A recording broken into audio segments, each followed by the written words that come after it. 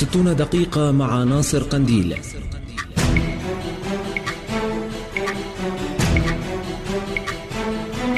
ستون دقيقة مع ناصر قنديل. برنامج سياسي أسبوعي على شاشة توب نيوز. ستون دقيقة مع ناصر قنديل تحليل لأبرز الظواهر السياسية خلال أسبوع. مواقف قادة وناشطين. رسائل وأسئلة مسجلة ومرسلة للأستاذ ناصر قنديل يجيبكم عليها. ستون دقيقة مع ناصر قنديل. ستون دقيقة مع ناصر قنديل. تحياتي أحبائي وأعزائي متابعو برنامج 60 دقيقة مع ناصر قنديل في هذه الحلقة الجديدة. هذه الحلقة ونحن نقترب من نهاية العام يعني نحن بعتقد بعد بيمروا عنا أربع إلى خمس حلقات من هون لنهاية العام. رح نبدأ نخصص هذه الحلقات لنوع من المراجعات للمسائل المنهجية التي يمكن استخلاصها من حصيلة هذه السنوات الأربع والخمس التي مرت على المنطقة بحيث تشكل هذه الحلقات نوع من قراءة منهجية في فهم هذه العاصفة التي مرت في المنطقة إلى أين نحن ذاهبون ما هي الآفاق التي يمكن أن نراها تشخيص الوضع العربي العام واتجاهاته الحاكمة. آه، استقراء مهام أو رؤى آه، نعتقد بأنه يجب أن يكون لها مكان وحيز في المقاربات الواجبة على القوى الحية في هذه الأمة على القوى المقاومة على القوى التي تحمل مشروعا لمواجهة مشاريع الهيمنة والتفتيت والتقسيم وتحلم بدولة عادلة دولة عصرية دولة قائمة على مفهوم الجمع المبدع بين الحرية والديمقراطية والهوية الملتزمة بخيار المقاومة. وبالتالي الفكرة أصلها انه هذه الحلقة والحلقات التي تلي سنحاول أن تكون ساعة متصلة. يعني مش عم نقسم الآن إلى أقسام لنجيب على التطورات إلا إذا حدثت تطورات كبرى. يعني خلال هذه الفترة المتبقية حتى نهاية العام تستدعي نعمل حلقة ساعتها مخصصة لتحليل الأحداث التي تجري بحينها. أو بنقسم الحلقة قسمين أو بنقسمها ثلاثة. بناخذ قسم عن التحليل ورؤية التطور الآني وقسم بنرجع بنكمل فيه محور من محاور البحث في فهم الإطار العام للذي جرى والذي سيجري في المنطقة. لكن أنا من الذين يعتقدون أنه نحن خلال الحلقات السابقة كلها اللي كنا نخصصها للإجابة عن تساؤلات لمحاولة رسم مسارات لمواكبة أحداث بعينها صار بيسوى أنه نعمل قراءة أوسع قراءة أشمل قراءة تطلع من الحدث التفصيلي لتحاول ترسم صورة للمشهد.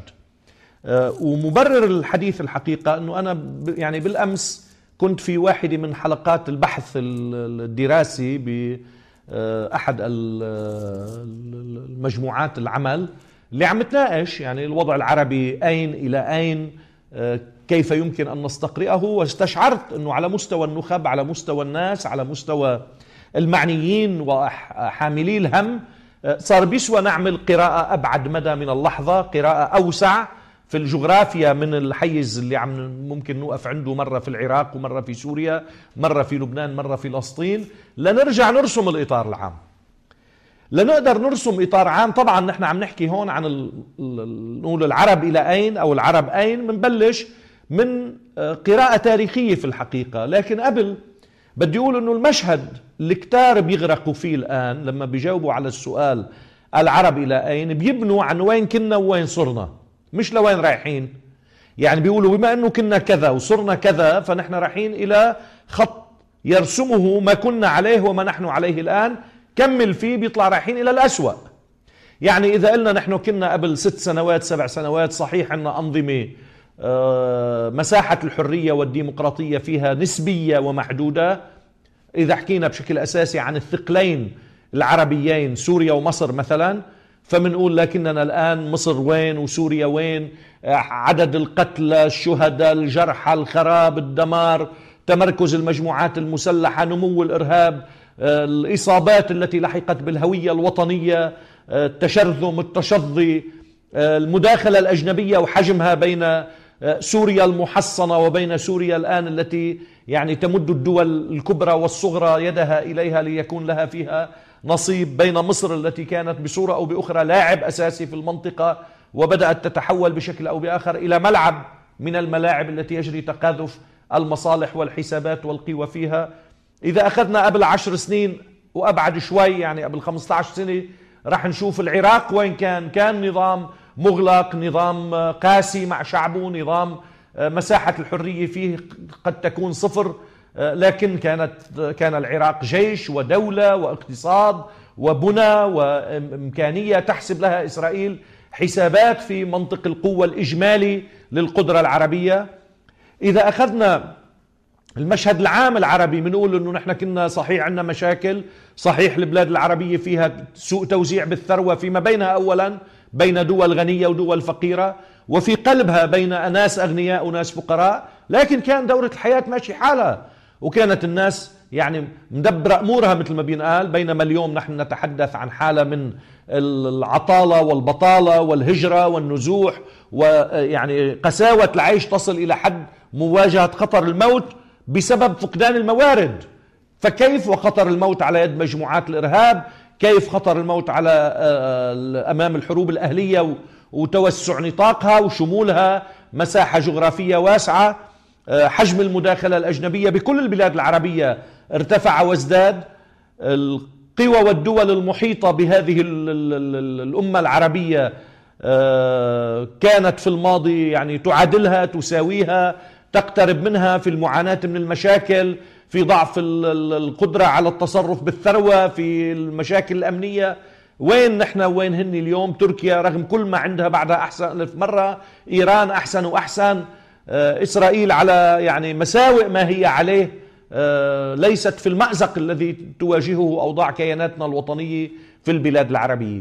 فالذي يبني على صورة الوضع العربي إلى أين؟ الهوية العربية اللي كان لها مكان ولكن منافسها كان الهوية الوطنية. الآن صرنا نقول الهوية الوطنية إلى مكان. يعني كان العربي عربي وحد منا مصري حد منا سوري حد منا أردني حد منا فلسطيني. اليوم طارت الهوية العربية وصار شيعي وسني ومسيحي ودرزي وحد منا شوي هو سوري هو مصري هو فلسطيني هو مغربي إلى آخره.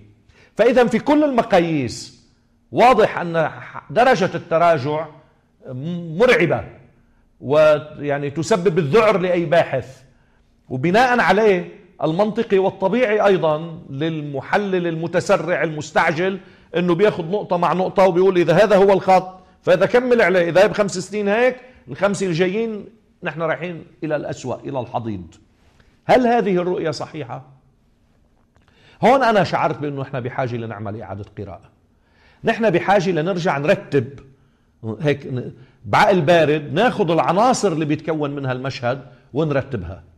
هل نحن أمام يعني متغيرات نمر بها بصفتها آه، أقدار بمعنى أنها تطورات تصنعها عناصر آه، حاكمة آه، بنيوية هيكلية وهي مستمرة متمادية قابلة للحياة؟ هل هذا هو المشهد؟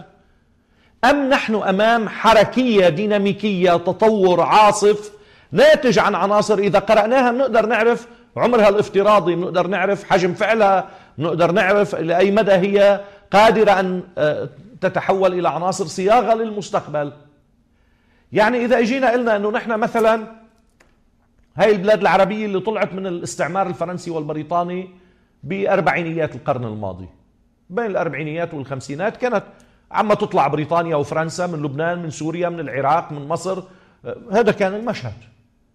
وكان حده عم تجي قيادات تحكم هالبلاد. هي بصورة أو بأخرى الإقطاع الزراعي والتجار والمتمولين وأصحاب المصارف أبناء البيوتات العائلية الكبرى التي كانت تعمل في السياسة سواء من المورد الرأسمالي أو من المورد الزراعي الإقطاعي بشكل عام. وعاشت هذه النخب في السلطة بين عشرة وعشرين سنة. ومعها كانت نكبة فلسطين تتحول لتصبح القضية الضاغطة في الوجدان العربي. ومعها كان في متغير يحدث في الفضائين الدولي والإقليمي متغير كبير اسمه أنه الاستعمار البريطاني والفرنسي يتلاشى بسبب الإصابات التي تلقاها في الحرب العالمية الثانية والاستعمار الأمريكي يتقدم ليحل مكانه. بقلب هذا المشهد نحن شفنا إنه في نخب جديدة صعدت وصعدت بفترة متقاربة بفترة عشر سنوات كانت هذه النخب نفسها تحكم البلاد العربية اللي هي النخب العسكرية التي قادت انقلابات بدأت بثورة جمال عبد الناصر وحملت راية التحرر من الاستعمار ومواجهة إسرائيل وتحرير فلسطين وإقامة العدالة الاجتماعية وتوزيع الأرض على المزارعين وإلغاء الإقطاع وإقامة قطاع عام صناعي قوي قادر أن يؤمن قدر من الاكتفاء في الإنتاج الداخلي تطوير الزراعة بحيث أيضا يتحقق اكتفاء غذائي تأمين مشاريع الري يعني عملت نهضة. وهذه المرحلة هي ذاتها. شفناها بسوريا بمصر بالعراق بشكل أساسي عم بحكي. ولاحقا بالجزائر بعد التحرر من الاستعمار الفرنسي وانتصار الثورة. وهو عم نحكي عن مين عم نحكي؟ واليمن رجعت لحتهم. عم نحكي عن البلاد اللي عدد سكانها مبلش بمصر. عم نحكي عن وقتها ال 50 60 مليون. وبعدهم عم نحكي عن الأربعة اللي بيجوا بعدها مباشرة. يعني اللي هن سوريا العراق اليمن الجزائر. الرباعي السكاني اللي مجموع سكانه بيعادل مصر. واللي إذا جمعناه ومصر صرنا عم نحكي على ثلثي العرب والباقي كله التلت. يعني بلاد المغرب بدون الجزائر وبلاد الشام بدون سوريا والعراق ودول الخليج والجزيرة بدون اليمن ودول الوادي النيل بدون مصر كلهم بيطلعوا التلت. ومصر مع الجزائر مع اليمن مع سوريا مع العراق بيطلعوا التلتين. تلتي العالم العربي أكيد لما بيكون القوة القائدة هي الثلث الأول اللي هي مصر بتقطر وراها بإطلاق المناخ هذين الثلثين الحي... هذا الثلث الثاني الحيوي وبيتحولوا الثلثين إلى مشروع قيادي وبتصير الحقبة العربية بين الخمسينات والسبعينات هي حقبة عبد الناصر. آه يعني هي الحقبة الناصرية اللي سماتها معروفة اللي سماتها استقلالية آه وعد بتحرير فلسطين واستعداد للحرب من أجلها آه التأميم تأميم النفط تأميم قناة السويس بناء السد العالي يعني المشاريع المائية توزيع الأراضي على الفلاحين بناء صناعة ثقيلة عم نحكي مصر الجزائر سوريا العراق اليمن كله مثل بعضه مشي بهذا الخط. وبناء دولة مركزية بناء جيش قوي بناء آه، إدارة قوية. وبالتالي هذه الحقبة ابتعدت واقتربت عن المسار الأمريكي بالموضوع الإسرائيلي الحقيقة هو الذي أسس للافتراق والموضوع التنموي أيضا. يعني أمريكا بالبدايات حاولت أن بأثناء العدوان الثلاثي كان يعني موقفها أقرب إلى الموقف المصري ومعروف إنذار أيزنهاور وبالتالي كانت تحاول أن تستوعب أمريكا هذا المتغير وتتلقاه في حضنها لكن فشلت في هذا لأن هذه النخب التي قادت عملية التغيير كانت نخب وطنية عريقة استقلالية بامتياز وعم نحكي على رأسها جمال عبد الناصر عم نحكي على نموذج حافظ الأسد عم نحكي على هذا. المناخ الذي أطلق عم نحكي حتى على ثورة البعث في العراق عم نحكي على الثورة الجزائرية عم نحكي على الثورة اليمنية طابع الاستقلالي آه، الرهان على بناء قدرة اقتصادية الرهان على بناء جيوش قوية. وبالتالي ما قدرت أمريكا أن تحتوي هذه الظاهرة ولذلك كانت أمريكا هي من وقف وراء حرب 67 التي أرادت تدمير هذا التحول الكبير إسقاط هذه الحقبة. طيب سقطت هذه الحقبة. 67 عمليا كانت عملية بداية الأفول للحقبة الناصرية. صحيح هي رحلت مع رحيل جمال عبد الناصر عام 70 لكن واقع الحال خلص بدأ الانكسار العربي يخيم منذ العام 67 إسرائيل التي أحدثت هذا التحول بتوجيه ضربة مدمرة للنظم الوطنية التي حكمت العالم العربي وشكلت بديلا للنخب الرأسمالية والإقطاعية التي خلفت ما بعد الانتداب والاستعمار يعني 40 من الأربعينات لمنتصف الخمسينات ومن منتصف الخمسينات إلى مطلع السبعينات اجت الحقبة الناصرية من السبعينات وجاي لسنة الألفين منلاحظ أنه العالم العربي مر بحقبة ملتبسة. هذه الحقبة فيها ومضات إيجابية لكن العنوان السياسي العام الطاغي عليها سلبي. عنوان تربيطها مع المشروع الأمريكي بصورة أو بأخرى وكلما تفلتت حالة تطلق بوجهها مجموعة من آليات التخريب والتدمير والضغط والقتل حتى توصلها إلى تسوية ما تكبلها تحول دونها ودون أن تكون قوة قائدة باتجاه إعادة إطلاق مد شبيه بالذي عرفته المنطقة مع جمال عبد الناصر. من السبعين للألفين نحن عم نراوح هيك. حرب تشرين اللي هي يمكن أهم حرب في تاريخ العرب. أجهضت نتائجها. آه، انتصار آه، سوريا على الإخوان المسلمين. ما قدر يعطي سوريا المكانة والدور في أن تقود هي مرة أخرى العالم العربي.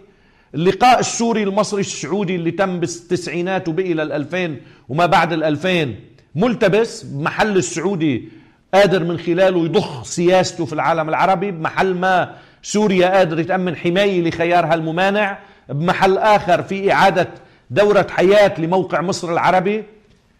لكن نستطيع أن نقول أن هذه السنوات سبعين للألفين يعني 30 سنة هول إذا بدنا نقول شو شهدوا هول شهدوا سطوة الرمح الإسرائيلي والتوظيف السعودي لهذه السطوة. ويصح القول مع فورة النفط وأسعار النفط وشراء الذمم والتوسع الإعلامي و و و و و. عم نحكي عن حقبة سعودية بقوة العصا الغليظة الإسرائيلية التي دمرت مرحلة عبد الناصر. هذا منه آه، إسقاط آه، ذاتي آه، لرؤية على واقع. هذا هو الواقع. ولهالسبب بنلاحظ أنه سنة الألفين مع أن السعودية ما أصيبت بشيء سنة الألفين التي أصيبت هي إسرائيل بأن اهتز كيانها بالهزيمة التي وقعت على يد المقاومة في لبنان والتي كان لسوريا ولإيران باع طويل فيها. هذا التحول أنتج معه مناخ إقليمي جديد ومناخ دولي جديد. المناخ الإقليمي الجديد أنه بهذا الانتصار تحول الثنائي السوري الإيراني إلى قوة صاعدة. بالوقت اللي السعودي المصري يعني الاعتدال العربي مثل ما قالت جونداليزا رايس وقتها ضمور وذبول بسبب العجز عن إنجاز سلام يعيد بعضا من الحقوق بكرامة للعرب. والمنطقي والطبيعي أن خيار المقاومة بدأ يتحول إلى خيار إقليمي وبدأ يصبح خيار شعبي. وبلشنا نشوف صور السيد حسن نصر الله بالأزهر بلشنا نشوف الشارع العربي من الجزائر من المغرب من اليمن يهدر تضامنا مع الانتفاضة الفلسطينية في العام 2000 وبالتالي شفنا إذا مناخ جديد هذا المناخ الجديد كان يعني لما بنقول أنه في قلب الخليج نفسه كان المزاج لصالح خط المقاومة. الرئيس بشار الأسد بعد خطابه في القمة العربية في شرم الشيخ عام 2002 عشية غزو العراق يتحول إلى رمز ونجم في الجامعات الخليجية. وفي الجامعات المصرية وفي وفي وفي آه، قائد المقاومة السيد حسن نصر الله يتحول إلى رمز عربي كاسح. بنشوف أن الحقبة السعودية سقطت سقوط مدوي مع سقوط العصا الإسرائيلية الغليظة. مش فقط لأن الحجة التي قامت عليها قيادة السعودية للعالم العربي تحت عنوان تأدية فروض الطاعة للأمريكي كانت تستند أصلا إلى أنها جواب على ما أسمته مغامرة عبد الناصر. أنه عبد الناصر واللي مشيوا وراه عم بيغامروا هول فكروا إنه الامريكان ضعاف وفكروا إنه إسرائيل يمكن هزيمتها. هيا هون تكسروا كسروا العالم العربي بسبب هذه المغامرة. وهيانا لنرجع ننقذ ما يمكن إنقاذه. رايحين نأدي الطاعة للأمريكان ليكفوا عنا الشر الإسرائيلي. هذا المنظور انهار لأنه إجت المقاومة وقالت هذا الإسرائيلي اللي بدكم تكفوا شره ولك نحن اللي بنكف شره. وكافين شره ومش لا يقهر ولك يقهر ويقهر ويقهر ويقهر. وها نحن نقره وكل يوم نقره والأمريكي مش قادر يعمل له شيء ومش قادر يعمل معنا شيء ومش قادر أنتم يحميكم. هذا الانهيار للمنظومة القيمية الثقافية الأخلاقية السياسية استراتيجية لمبرر وجوهر السياسات الخارجية العربية. هو عامل حاسم في سقوط الحقبة لكن العامل الأشد حسما في سقوط هذه الحقبة أنها بالأصل قامت على العصا الغليظة الإسرائيلية. بانهيارها أوتوماتيكيا هي شعرت بالتلاشي وبدأ الفراغ الإقليمي الاستراتيجي تملأه قوى خيار المقاومة الممثلة بالثنائي السوري الإيراني. طبعا هذا الوضع استدعى من أمريكا أن تحضر مباشرة إلى المنطقة لأنه أمام الفشل الإسرائيلي السعوديه يعني إسرائيل مشكلتها إنه لما عملت بال 67 الانتصار لا تملك الشرعية التي تتيح لها أن تدير العالم العربي. فهي مرفوضة شعبيا حتى النخب الحاكمة لا تستطيع أن تتعامل معها. الحرم عليها قائم. المطالبة بالثأر والانتقام والاستعداد هو اللي أنتج حرب تشرين أصلا.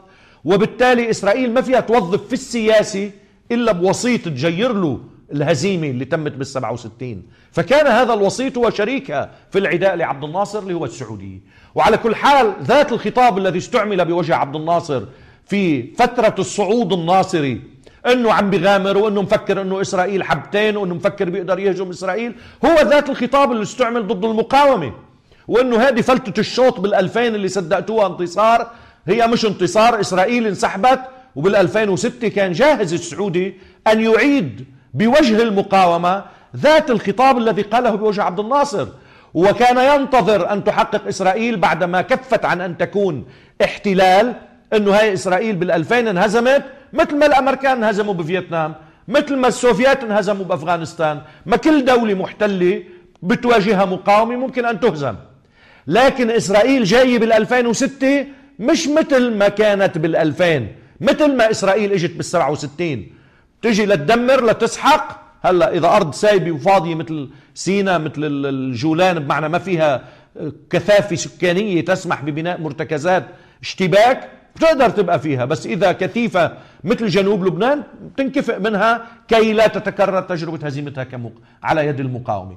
وبالتالي شهدنا من الألفين وصعودا مجيء كثيف للأمريكي إلى المنطقة لكسر القوى الإقليمية الصاعدة اللي قلنا هي سوريا وإيران. ففات على أفغانستان والعراق طوق إيران من ميلين. العراق وتركيا الأطلسية وإسرائيل ثلاث ميلات طوق سوريا. أملا بأنه هاي المقاومة اللي عملت هذا الإنجاز تكسر وتقطع شرايينها وتسترد إسرائيل ما سمته قوة الردع أو حيوية عصاها الغليظة في المنطقة وتسترد معها السعودية حيوية قيادتها السياسية. يعني إعادتنا إلى الحظيرة السعودية كانت تستدعي هذا الحضور الأمريكي في حربي أفغانستان والعراق وهذا الاستعداد الإسرائيلي لإعادة إنتاج قوة الردع.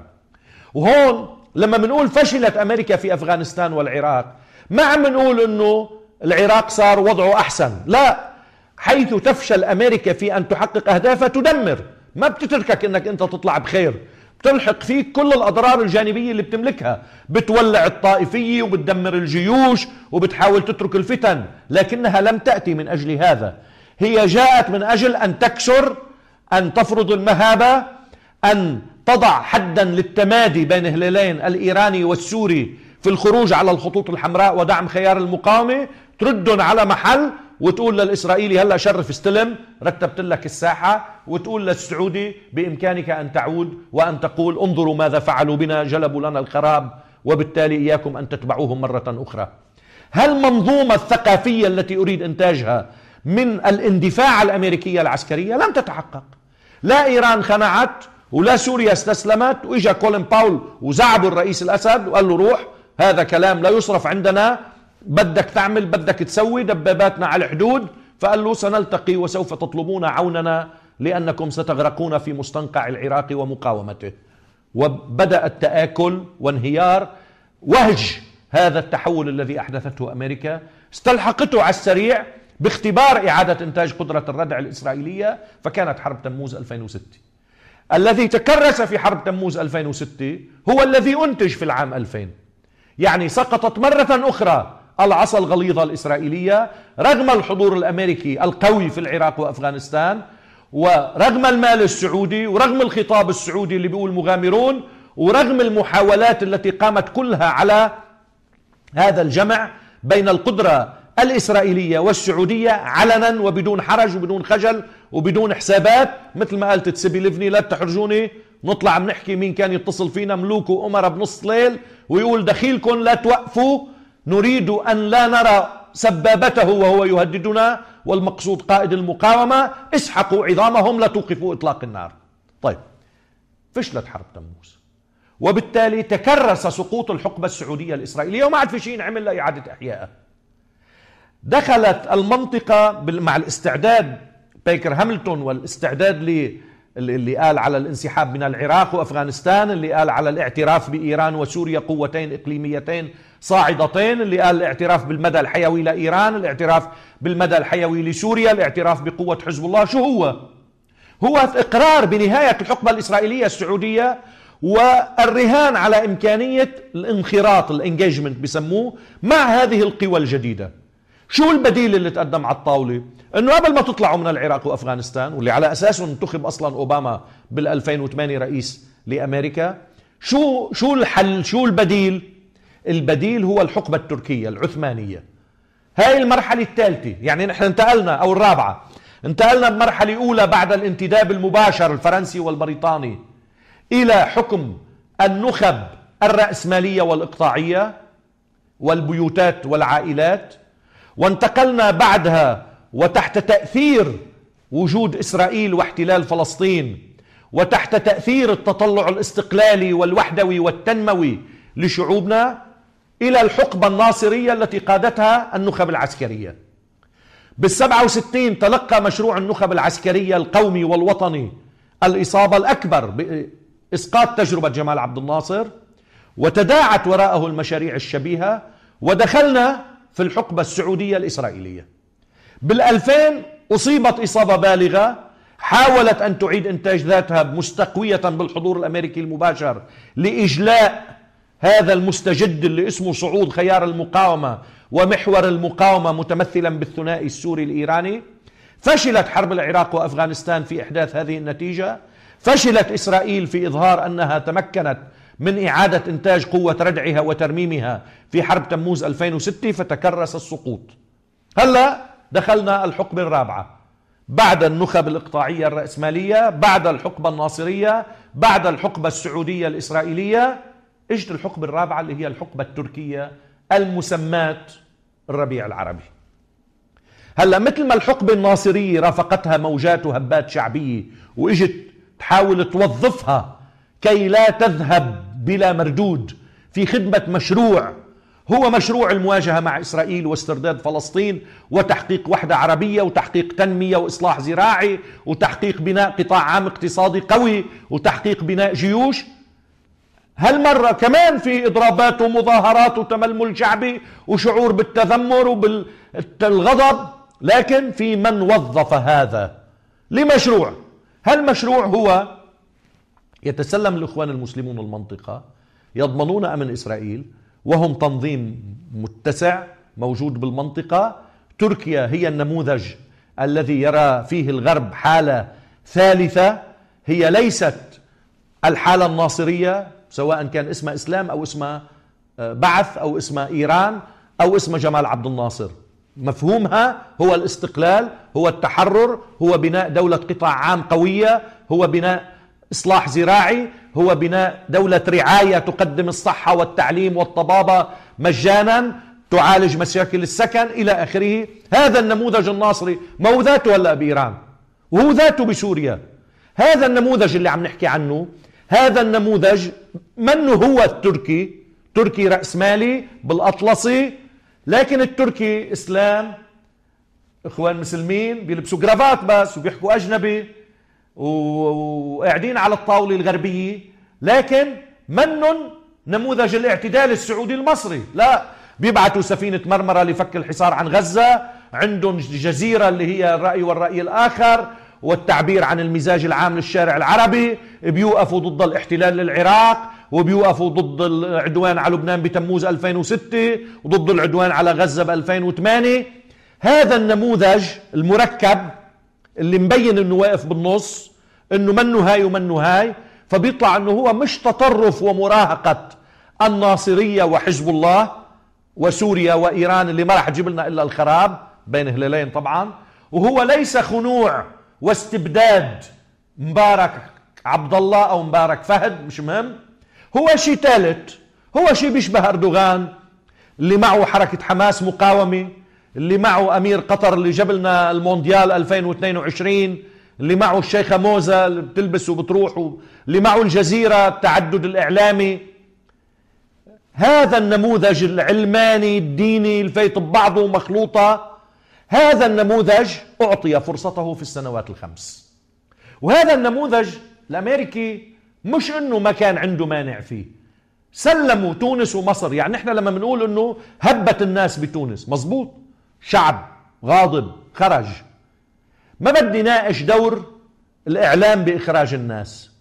ما بدي ناقش كيف الجزيرة والعربية التقوا على تخت واحد يعني على مخدة وحدة وهن بيناتهم مصنع الحداد بين الممولين السعودي والقطري. هذا كله متغاضى لكن السؤال هل كان الخروج الشعبي في تونس الذي بدأ بنسبة 20 ل 25% يتسع ليصبح 100% أو 90% أو 70% لو نزل الجيش يدافع عن النظام؟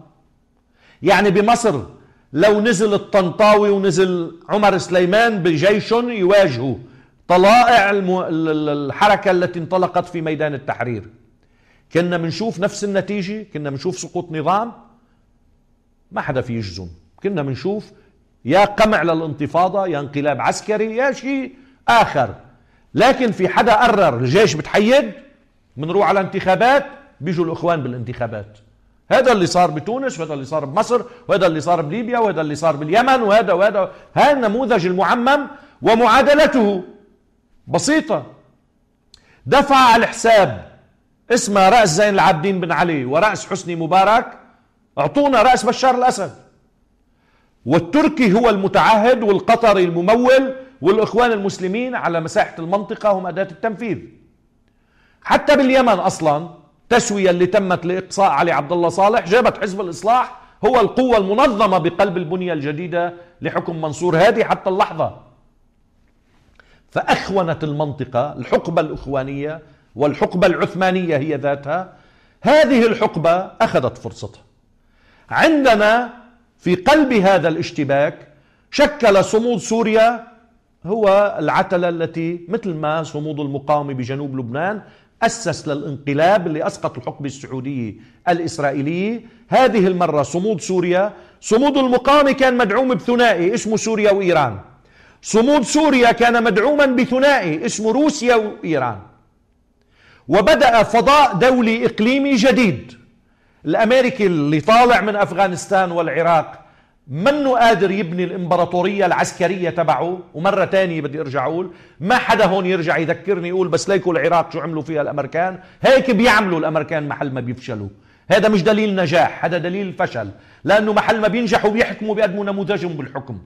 محل ما فشلوا بأن يبنوا امتداد الإمبراطورية العسكرية التي أسسوا لها دمروا وخربوا وفلتوا العصبيات وفلتوا الغرائز وأنهوا الجيوش وأخذوها على الفوضى وأخذوها على أشكال من التفتيت والتقسيم. واضح. وهكذا بأفغانستان أيضا. لكن حيث الأمريكي جاء بهذه الغزوة الإمبراطورية التي أراد فيها أن يحدث تهاوي في حجارة الدومينو.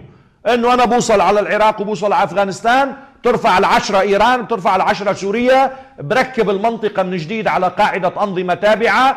أنظمة كما أريد أنظمة مرعوبة ومذعورة إذا ما كانت تابعة. يعني يبقى النظام بسوريا والنظام بإيران لكن تحت ضغط الخوف والقلق من شن الحرب عليه في أي لحظة تعوم قوة إسرائيل ومعها تعوم السياسة السعودية في إدارة المنطقة. طيب هذا الفشل ومعه لما بنقول أنه هذا الأمريكي تارك لأنه قوته العسكرية ما عادت تحمل. هذا الفراغ الاستراتيجي الكبير الناتج عن هذا الانكفاء عن غياب صيغة إقليمية قائمة على توافق عرض الرئيس بشار الأسد قبل بدء هذه الأزمة استشرافا واستقراء لمرحلة ما بعد الانكفاء الأمريكي وعرض على السعودي يعني جائزة آه، تعويض جائزة ترضية أنه تعال جزء أنت من الحل الإقليمي. وعلى التركي استباق إغرائي أنه تعال بلا ما تروح على المغامرة المخاطرة بوهم العثمانية. تعال كون شريك. وطرح نظرية البحار الخمسة إذا بتتذكروا اللي هي قزوين يعني عم نحكي هون روسيا وإيران اللي هي بحر الخليج أو بحر العرب اللي هي إيران ودول والسعودية يعني بمعنى أو بآخر كتمثيل اللي هي البحر الأحمر يعني مصر اللي هي البحر المتوسط يعني سوريا ليكون بنظرية البحار الخمس. هذه الدول قادرة على بناء نظام أمن إقليمي يضمن الاستقرار وهو يأخذ البلاد العربية والإسلامية نحو عملية إصلاحية هادئة تشبه هويتها قادرة على تحمل نتائجها ليست ادعاء إصلاحيا لتكسير الدولة الوطنية. مش على طريقة غورباتشوف يعني ادعاء إصلاحي لتكسير الدولة الروسية بل إصلاح هادئ متدرج قادر على حماية الثوابت ومفهوم الأمن القومي. وبالتالي هذا طبعا السعودي والتركي رفضا المشروع وبقوة وانحازا لمشروع آخر. هو مشروع إعادة رسم الجغرافيا السياسية للمنطقة تحت مظلة العثمانية الجديدة على أمل أن الحصة السعودية هي الخليج وقدر ما من النفوذ في سوريا القادمة. طبعا هلأ أنهار كل المشروع العثماني ومعه إعادة التعويم السعودي الإسرائيلي؟ صمود سوريا أنتج هذا التحول كما صمود المقاومة بين 93 و 96 وصولا لل 2000 وإنجاز التحرير كان هو العامل الحاسم في انهيار الحقبة السعودية الإسرائيلية. صمود سوريا اللي هلأ على أهبة شيء يعني يقترب قاب قوسين أو أدنى من شيء شبيه بالذي أنجزته المقاومة عام 2000 أي التحرير الشامل لسوريا من الامتدادات الإسرائيلية السعودية التركية اللي هلأ اسمها الحركي صار إرهاب بس هي مخالب إسرائيلية وسعودية وتركية في الجسد السوري. يقترب من إنجاز التحرير بدعم الثنائي الروسي الإيراني. مين عم بحل إذا مكان الفراغ الأمريكي هذه المرة؟ الفراغ العسكري الاستراتيجي الأمريكي الفراغ العسكري الردعي الإسرائيلي الفراغ السياسي بالمشروع التسووي التلفيقي السعودي عم بحل مكانه بالسياسي وباستراتيجيا. ثلاثي هو روسيا سوريا إيران. المقاومة هنا هي القيمة المضافة في هذا المشروع القيمة المضافة العسكرية التي تغير وجه معارك عندما تدخلها والقيمة المضافة السياسية التي تربط كل تغيير بقضية محورية مركزية عنوانها القتال مع إسرائيل وإعادة إنتاج ميزان قوى جديد في وجه إسرائيل. وبالتالي نحن دخلنا اذا مثل ما احتاجت مرحلة عبد الناصر. هذا انتبهوا معي فيه. مثل ما مرحلة عبد الناصر استندت إلى حركة شعبية استندت إلى قضية معلقة اسمها قضية فلسطين واسمها قضية الهويه العربية واسمها قضية بدنا دوله تقدر تامن لنا الصحة والتعليم والسكن. مثل قضية الزراعة التي كان يحتكرها الإقطاع وكل أراضينا بور. لا لا تزرع فلتوزع على الفلاحين ولتقم لها مشاريع الري والسدود. هذا تطلب وهذا التطلب كان يحتاج إلى أبطال وإلى قادة. ولكن مع هول كان في مناخ دولي وإقليمي إنه في استعمار فرنسي بريطاني في مرحلة الأفول ومعه في استعمار أمريكي بعده ينبض حيوية بمبادئ ويلسون. القائمة على حق تقرير المصير والقائمة على سيادة الدول الوطنية.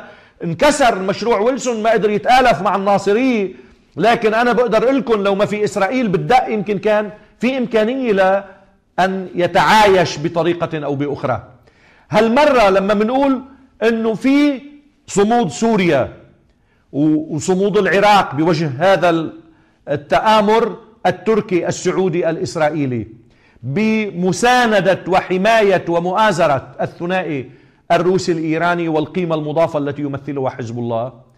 عم نحكي عن شيء شبيه إنه في أفول للمرحلة الأمريكية مثل ما كان الأفول للمرحلة البريطانية الفرنسية ممهدا لمرحلة يكون فيها الأمريكي بديلا قدرت تنفذ من ثقوبه المرحلة الناصرية لكن عندما اشتبكت معه استعمل الثنائي السعودي الإسرائيلي لإسقاطه لأنه حامل تاريخي لمشروع أكبر وأكثر قدرة منها بدليل أنه تمكن من إسقاط الاتحاد السوفيتي. فما حدا يقول كيف قدر يسقط الناصريه يعني لا تواخذونا. المنطقي والطبيعي هذا المشروع كان بعد عنده الكثير مما ينجزه لكنه الآن ينهي ما عاد عنده شيء ينجزه. لهالسبب بنلاقي إنه عم نشهد أفول العهد الأمريكي الإمبراطوري كما افل في الخمسينات العهد الإمبراطوري الفرنسي البريطاني وكما خلف الأمريكي بصعوده كقوة توحيد للأسواق وقوة إنتاج للعولمة بوطأة وسطوة التكنولوجيا وحرية التجارة. هو كلهم خلصوا هو كلهم أنجزوا. ما عاد عنده شيء يضيفه. بقوة حقوق الإنسان بقوة حق تقرير المصير بقوة بقوة بقوة بقوة كله هتك مش أنجز هتك. الآن بقوة الانحياز الأعمى لإسرائيل بقوة التغطية على جرائمها بقوة ما ارتكب في أبو غريب وما يرتكب في غوانتنامو بقوة التعامل الوحشي مع الإرهاب القاتل والمجرم واستعماله تحت عنوان الاحتواء المزدوج. بقوة الدفاع عن ديكتاتوريات بائدة لا دساتير ولا قوانين انتخابات فيها كما هو حال العلاقة الأمريكية بالسعودية. سقط أخلاقيا وسقط عسكريا بالفشل وسقط سياسيا بالعجز عن إعادة ترميم مصالحه بصيغ جديدة. وآخر سقوطه كان هو سقوط المشروع العثماني مشروع الأخونة بغلاف وبغطاء تركي قطري هذا المشروع الذي لا يستطيع أحد أن ينكر أنه امتلك جاذبية على المستوى الشعبي وعلى المستوى الغربي بأن واحد. وشكل نقطة تقاطع بيناتهم. قال للشعوب عم نضيفكم حرية إعلام نموذج الجزيرة. عم نضيفكم ديمقراطية نموذج تركيا عم نضيفكم علمني وإسلام كالتشارك والتزاوج بينهما في نموذج حكم حزب العدالة والتنمية. عم نضيفكم جمع عجائبي بين تكونوا بالأطلسي مع الأمريكان وفيكم تتبنوا الوقوف إلى جانب المقاومة بحرب تموز والوقوف إلى جانب غزة بوجه الحصار بإرسال مرمرة والوقوف إلى جانب العراق ضد الحرب وضد الغزو الأمريكي كما فعلت الجزيرة وفعلت قطر. وإذ فجأة كله ببين أنه كان مسرحية مدروسة كانت أدوار تقبلها أمريكا وتصمت عليها وتتم بمعرفتها للرسملة فقط. ولما اكتملت الرسملة بدأ الانقضاض وكشف الوجوه. طيب وينهار المشروع. هذا الفراغ الآن اللي عم نحكي عنه هذا الأفول للإمبراطورية الأمريكية في مكان صعود بمفهوم غير استعماري. يعني ما جاي يحقق صلبطة وسطو على الثروات واستيلاء على القرار الوطني لكنه مشروع إمبراطوري أيضا لكل من روسيا وإيران. هاتين الإمبراطوريتين الصاعدتين بقوة القيم الحاملة قيم الاستقلال قيم التعاون. قيم القوة العسكرية القادرة على أن تقول للأمريكي لا. قيم البحث عن المشتركات. قيم البحث عن المصالح الحيوية بقوة الجغرافيا. إنه بأي منطق الأمريكي لازم يكون له مصالح ببلادنا وهو البعيد آلاف الكيلومترات. ونحن مصلحتنا المباشرة بالغاز وبالنفط. أنا ليش بتعامل مع شركة أمريكية لو كانت تأتيني بالغاز والنفط من السعودية ومن قطر. وأقرب لي إيران وأقرب لي روسيا. بمنطق المصالح بمنطق الجوار بمنطق الجغرافيا السياسية بمنطق الاحترام المتبادل للخصوصية الثقافية إنه شو بيجمع روسيا وإيران؟ والصين. الصين بوذية بس شيوعية وروسيا رأسمالية بس أرثوذكسية. وإيران مسلم شيعي ديني. طيب شو بيجمعهم؟ بيجمعهم التقبل أن كل من هذه الأطراف في هذا والهند مثلهم. يتقبل أن يكون الآخر مختلفا لأن قراره مستقل. ولأنه ما بيدعي لنفسه حق في أن يصبغ الآخرين بلونه وأن يعيد تشكيل الآخرين على شكلته. وبالتالي هذا المشروع الجديد هو مشروع إمبراطوري لكن منه استعماري هو مشروع يصدر القيم بقوة المثال. مثل ما الثورة الفرنسية صدرت مش تمثال الحرية قيمها إلى أمريكا وقيمها إلى أنحاء العالم وقادت مرحلة طويلة عنوانها الأخوة والمساواة اللي هي كانت شعارات الثورة الفرنسية. وبالتالي هذا النموذج الأخلاقي في السياسة الدولية الذي يمثله الثنائي الروسي الإيراني بدأ يملأ الفراغ بالقوة وفي السياسة. والأمريكي بلش اعترافات. شو التفاهم مع إيران عن ملف النووي؟ منح شرعية النصر المحقق في نصر حقق أن إيران صمدت. لم تكسر لم تنهزم لم تتنازل. حاول الأمريكي ناور داور ضغط رهب رغب وصل إلى الطريق المسدود فوقع. مع روسيا حاول بحرب الأسعار بحرب الأوكرانيا بالدرع الصاروخي باستعمال أوروبا بالحرب على سوريا نفسها. ولما وصل إلى الطريق المسدود وقع. شو وقع؟ هاي فيينا شو هي اعتراف بأن الراية في إدارة ملف سوريا تنتقل من اليد الأمريكية إلى اليد الروسية. بأوكرانيا نحن آخر السنة بنوصل إلى توقيع التفاهم مش إلى تنفيذ مش توقيع. آخر بنود الاتفاق الخاص بأوكرانيا اللي هو توقيع أمريكي لروسيا. لما روسيا فاتوا على لعبة أوكرانيا وأخذت القرم وحطته بحضنها وهو البيضة الذهبية بل الماسية التي لها قيمة استراتيجية ولها قيمة اقتصادية وهي المطل والشرفة اللي من خلالها روسيا تطل على البحر المتوسط على البحر الأسود. هذا يعني أن هذا الفراغ الناتج عن أفول الإمبراطورية الأمريكية عسكريا واستراتيجيا وسياسيا عسكريا بفشل الغزوات استراتيجيا بسقوط المشروع العثماني الذي أرادت أن تحله مكان الثنائي السعودي الإسرائيلي الآتي من هزيمة عبد الناصر عام 67 وسياسيا من خلال الفشل في إقامة منظومة نظام إقليمي بديل قائم على التزاوج والجمع بين القديم والجديد. ما أدرى. يملأه الآن هذا الفراغ يملأه الآن عامل صاعد حامل استراتيجي جديد هو الحامل الروسي الإيراني.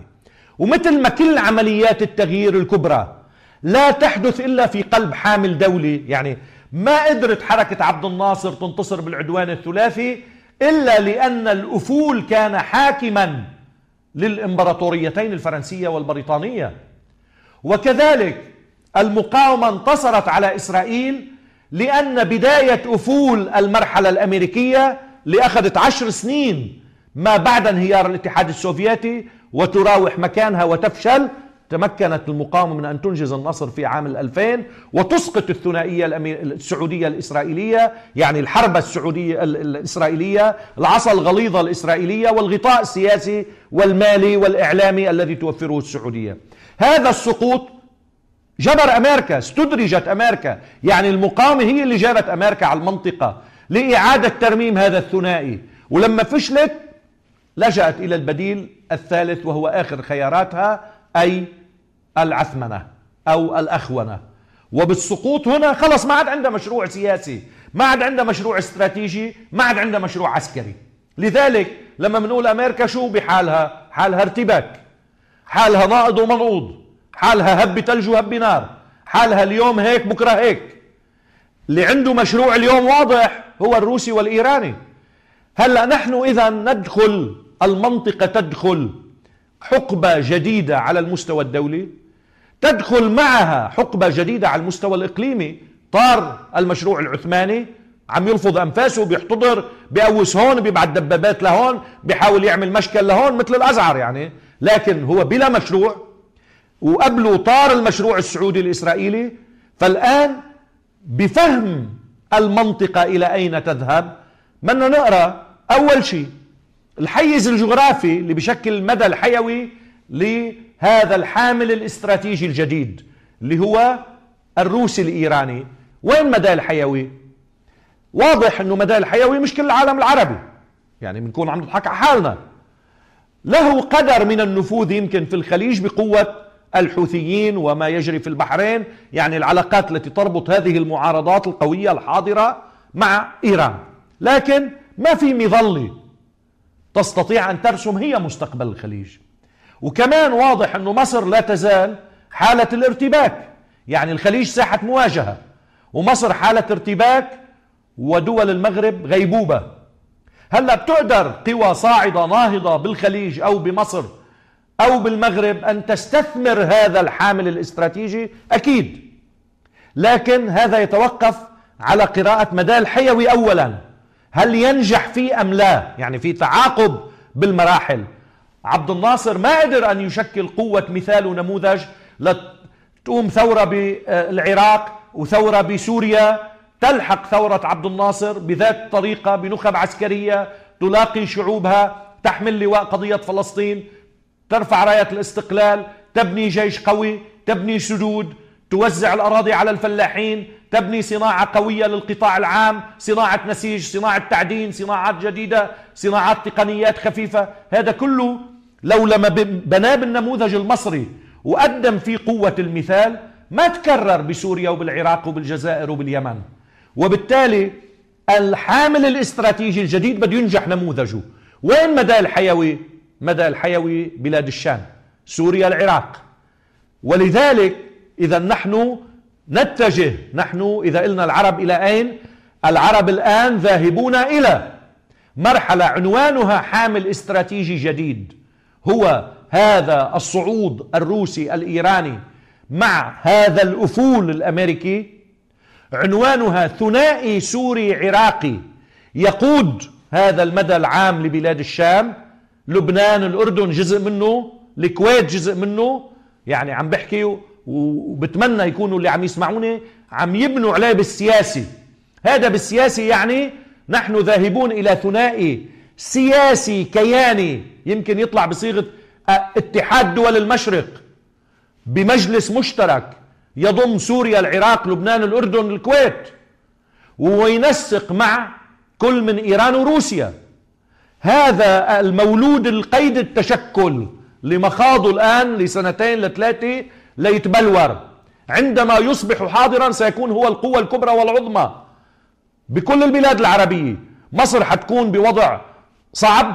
تحتاج إسناد هذا المولود الجديد الصاعد القوي القادر اللي عم بيعبر عن 50 ل 60 أكثر 70 مليون نسمة. واللي عم بخاطب خليج كله مجموعة مشيخات وسعودية مثخنة الجراح. لكن يمن يتعافى. واليمن قادر أن يكون شريكا لهذا المشرق الجديد مع اليمن مع مصر لا بصير في وضع عربي جديد. وبالتالي الوضع العربي إلى أين؟ أو الوضع العربي أين؟ قلنا الوضع العربي في أسوأ أحواله. بمشهد القتل والذبح والتفتت والتشظي وصعود الهويات القاتلة والعصبيات والغرائز والتراجع الاقتصادي والبطالة وهجرة ولجوء وهروب وممر أجواء صرنا لدول العالم و و و و تراجع في السيادة تراجع في الاستقلال هريان بالخطاب السياسي اضمحلال في الثقافة هذا اللي نحن عليه. معه كما كانت المقاومة. هذا الوضع على كل حال ب 82 ما كان أحسن. يعني اللي بيقرأ الوضع العربي ب 83 شو بيطلع معه دخلكم بيطلع معه إنه إسرائيل تدخل عاصمة العرب الثانية بعد القدس وهي بيروت وتقيم فيها حكما عميلا. لكن هلا أنا بدي أسأل حدا بيقدر يقول لي إنه عنده مؤشرات تقول أن أمريكا قادرة على ترميم عناصر ضعفها؟ يعني نحن رايحين على سنة سنتين أمريكا رح تكون قادرة تبعت 500 ألف جندي مثل ما عملت بحرب أفغانستان لتحسم عسكريا؟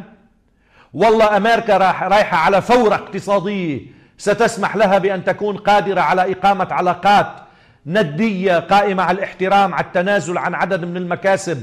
للدول والشعوب التي تريدها اسواقا لأنه مكتفيه ومغتنيه والله هي بحالة الركود وشبه الإفلاس والتوحش في التعامل الاقتصادي. عندما قدرة على الالتزام بمنظومة قيم عالية سامية كالسيادة واحترام حق تقرير المصير وردع الدول المتطاولة على السيادة مثل إسرائيل ومثل غيرها ورفض مد اليد للدول التي تدعم الإرهاب والدول التي تعمم الفساد والاستبداد كحال السعودية؟ أبدا. وبالتالي شو اللي بده يرمم وضع أمريكا؟ طيب وإسرائيل شو بده يرمم وضعها؟ في خمسين مليون مهاجر يهودي بالعالم جايين على فلسطين لا يعملوا خلل ديموغرافي؟ شو في؟ في قنبلة نووية بدهم يستعملوها؟ شو في؟ في صفر. في قدرة على التسليم بحق الشعب الفلسطيني من حق العودة إلى القدس إلى إلى إلى. ما في شيء. السعودية شو تعمل لحتى تحسن وضعها؟ جربت حظها العسكري باليمن. وجربت مفعول المال والوهابية في سوريا. شو بقي عندها بعد؟ هي بدها تنتحر ذاتيا وتقرر التحول إلى نظام ديمقراطي يقوده آل سعود بثقافة التغيير. في حدا براسه خبل بيصدق هذا الحكي بيصدق إنه نموذج عادل الجبير نموذج قابل للتصدير. ما هو نموذج كساد ببلده ما حدا بيشتريه بربع ببلده. وبالتالي اذا لا قدرة على ترميم عناصر القوة. أردوغان مجنون العظمة. القوة الصاعدة واضحة التي تحمل منظومة أفكار وقيم ومهابة وقدرة وإنجاز. طلع بوتين وطلع بأوباما. طلع بالسيد الخامنئي وطلع بالملك سلمان.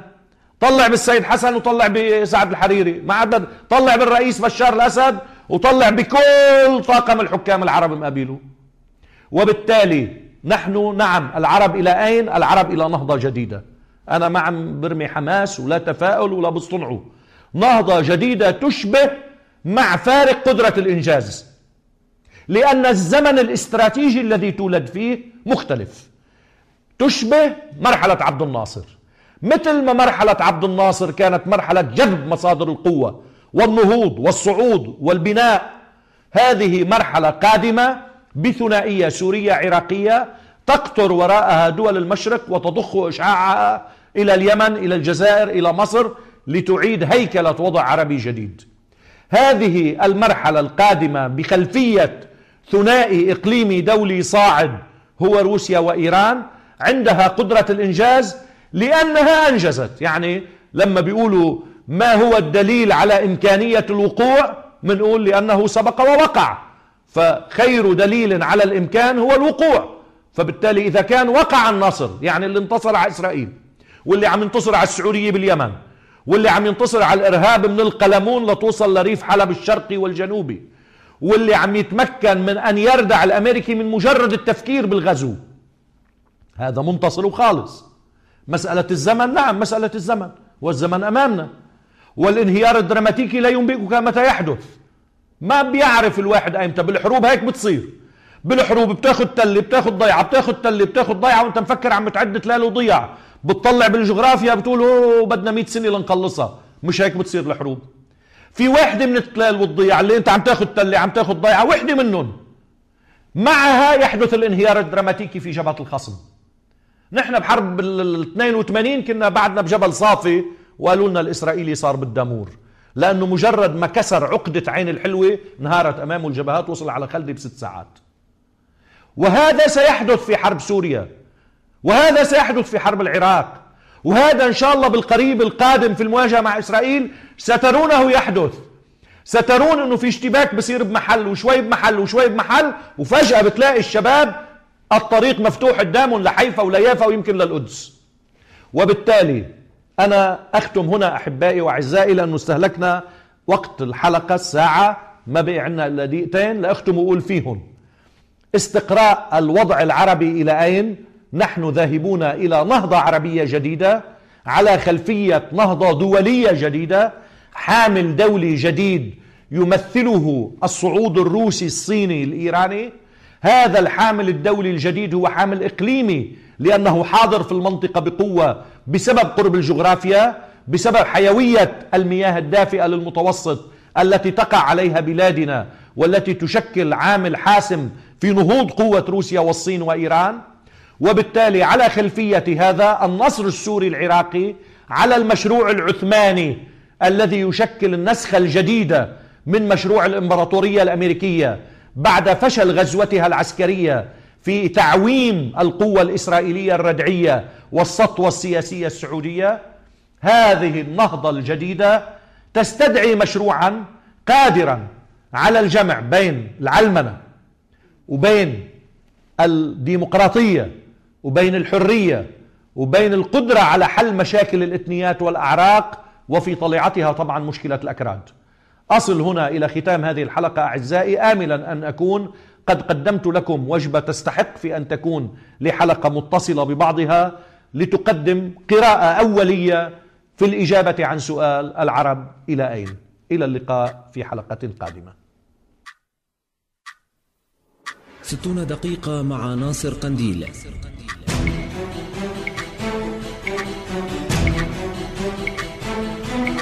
ستون دقيقة مع ناصر قنديل. برنامج سياسي أسبوعي على شاشة توب نيوز. ستون دقيقة مع ناصر قنديل تحليل لأبرز الظواهر السياسية خلال أسبوع. مواقف قادة وناشطين. رسائل وأسئلة مسجلة ومرسلة للأستاذ ناصر قنديل يجيبكم عليها. ستون دقيقة مع ناصر قنديل. ستون دقيقة مع ناصر قنديل.